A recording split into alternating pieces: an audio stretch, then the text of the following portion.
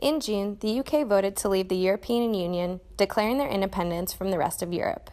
The major changes that will come from this decision involve immigration, trade, and the economy.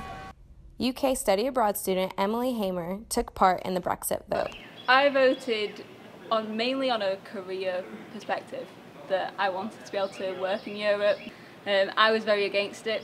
It caused a lot of falling out amongst friends and family.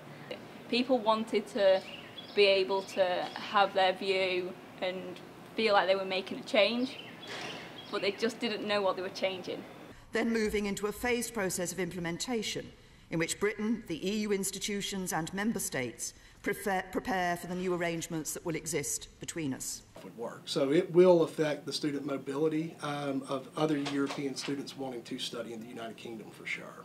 We even as a study abroad operation have seen them tighten up a lot of their stuff over there within the past even six years. And then Brexit happened and I do anticipate that it will compound a lot of problems that, that American students will even have trying to get to the United Kingdom. People had no idea. Yeah, I think it's a disaster to be honest. Although this decision was officially announced today, changes involved with Brexit will not take place until March 2019. Alison Fazio, Newswatch Ole Miss.